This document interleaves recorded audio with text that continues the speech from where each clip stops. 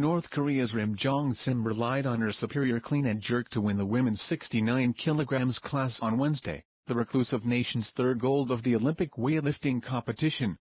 Rim, 19, recorded a combined total of 261 kilograms after snatching 115 kilograms and registering a best in the clean and jerk of 146 kilograms.